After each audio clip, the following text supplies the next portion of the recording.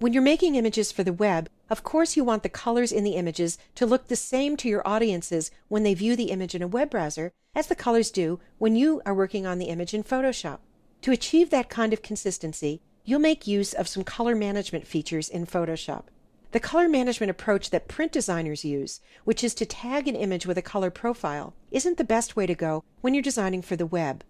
That's because today many web browsers still are to sRGB. To see all three That's the menu bar on a PC, and I'm going to click the Arrange Documents menu. And then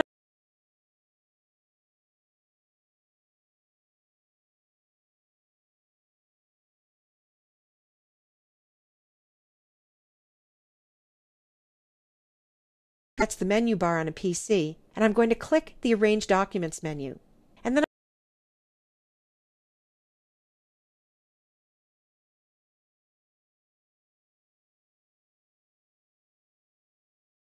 Saturated colors.